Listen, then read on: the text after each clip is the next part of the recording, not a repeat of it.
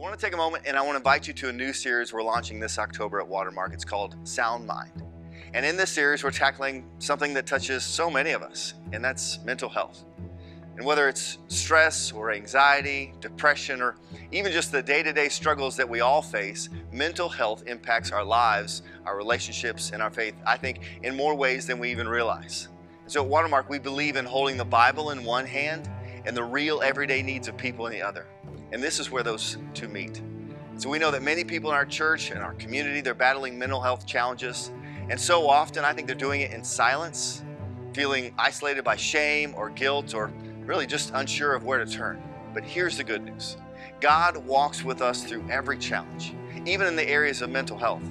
We believe that mental health is part of God's design. It's not just a modern issue, but it's something that has deep roots in Scripture.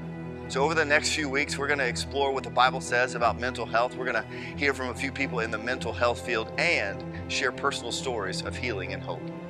And so, whether you're facing your own struggles or you know someone who is, this series is just for you. So, I hope you'll join us as we talk about how God meets us in the midst of our challenges and helps us find peace and strength and a sound mind. Can't wait to see you there.